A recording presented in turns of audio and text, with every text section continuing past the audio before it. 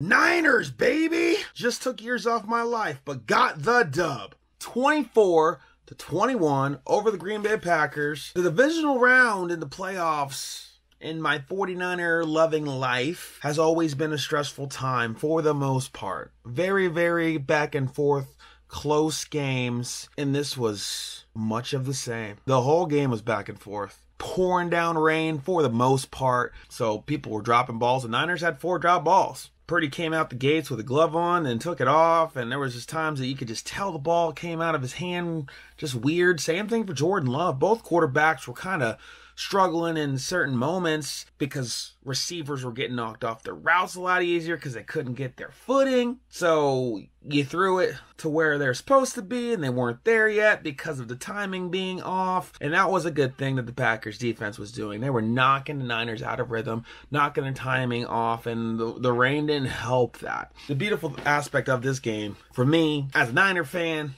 as a Brock Purdy defender, everybody got exactly what they have been saying they wanted to see. They, everybody wanted to see Brock Purdy lead his team down the field in a meaningful drive to go win the game.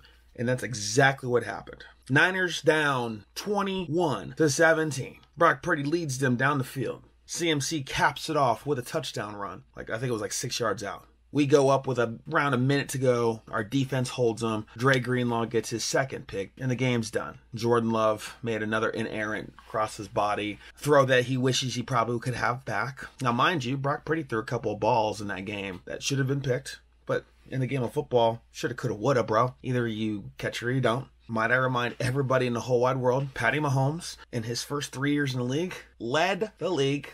This is a stat that doesn't even matter at the end of the day.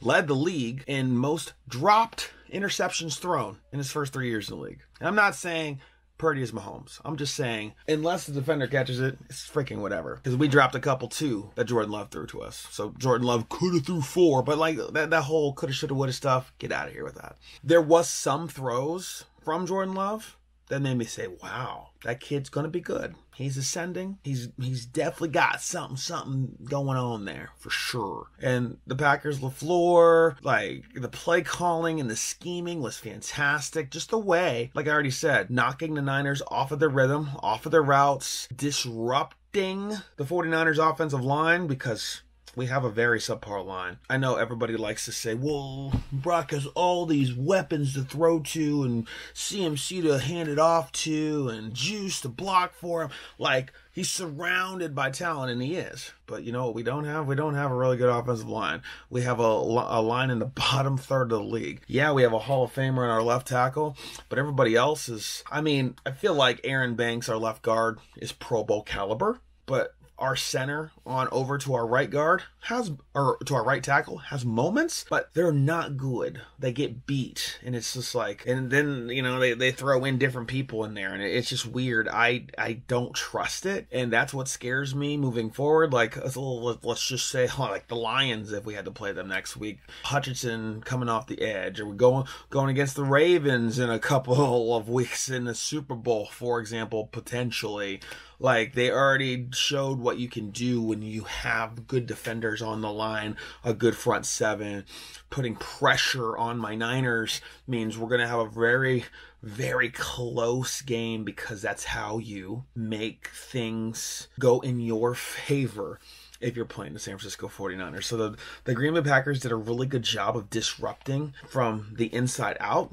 The thing is, Brock Purdy does really good under pressure. And little does a lot of people realize that he had the highest completion percentage when under pressure this year the highest completion percentage in the entire league. The most pass, um, the most passes over 20 yards, the most touchdowns, the most everything when pressured, when blitzed. So even though I'm watching the game and I'm stressed out, my heart rate is up, I have no reason to think Brock's just gonna continually just throw these god awful passes or anything as I like tap into my Jimmy G trauma from years prior because more times often than not, he's gonna put the ball where it needs to go. Tonight it was hard for both quarterbacks to always put the ball where they need to go for a number of reasons beyond the pressure that was happening on both both ends uh, both teams but the rain was a, was a huge element, and both coaches knew each other, and they're they're so close that it was it was gonna be a back and forth and back and forth, a game of inches kind of battle.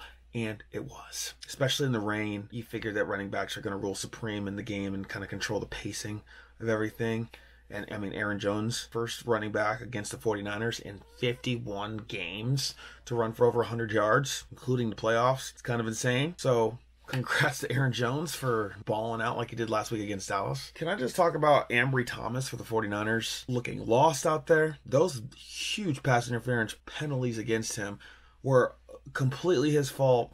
And like, what are we what are we doing right now? You know, like what what are actually are we doing? I was scared at the end of the game because I was like, they're gonna just pick on Ambry Thomas, and they should have. But he looked lost in moments, and I'm just like, oh my gosh, he is the fish of our defense tonight he was a fish. You know who wasn't? Everybody else for the most part. Uh, Deommodore Lenoir had an awesome game. Obviously, our linebackers did. Charvarius Ward, he, he had a couple pass breakups, and Tashaun Gipson got there a little bit early on that pass interference call. I think it was in the first quarter. It was it was chippy for the most part in that game, and I'm there for it. You know, something that really really messed up the Niners mojo early on was Deebo getting hurt. When you have two weeks off to prepare. One of your main pieces, running the ball, catching the ball, running the ball after the catch. Somebody that could be in the backfield. I mean, just my gosh, goes out midway through the second quarter. That's a big. That's a big deal. Which goes into my whole thing with Brock Purdy. Everybody's wanted to see him when all of the Infinity Stones weren't there. They wanted to see him in the elements. They wanted to see him down in the fourth quarter and bring them back, and that's exactly what he did. There were it was a sloppy game all the way around for everybody. But what do you do when your back's against the wall? and your team has to score a touchdown or you lose and you go home. What Brock Purdy did is lead his team down the field. CMC said, I got this, punched it in the end zone at the end, dub. And that's all I can say.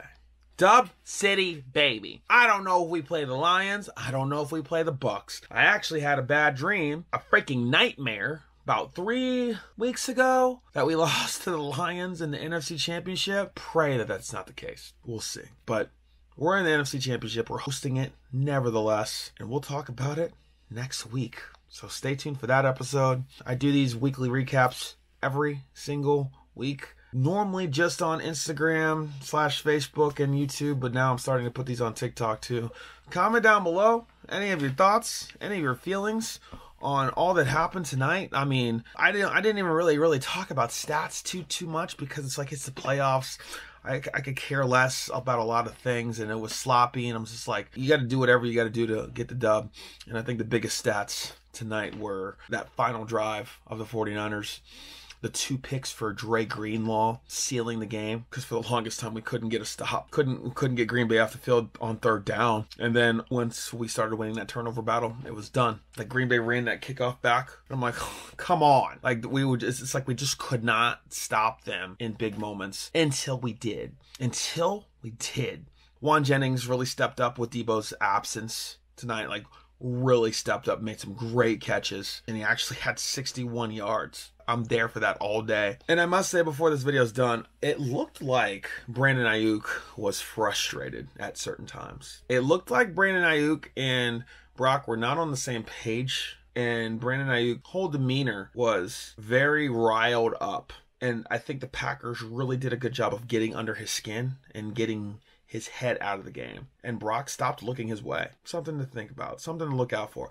Also, there was one big time third down play in Ray Ray McCloud. His route just looked ugly. Ray Ray McCloud can't run routes, bro. Like, I'm I'm happy to have him on special teams. Uh, he he ain't it when it comes to receiving. Him and Brock have no chemistry together, like for real. And when he runs his routes, they're so sloppy. They're so sloppy. Can't deal with it. That's just something I've noticed in the in the few moments I've seen. And I don't I don't think Brock really likes to go to him, but sometimes he tries, and it's just like, come on. Nevertheless, NFC Championship.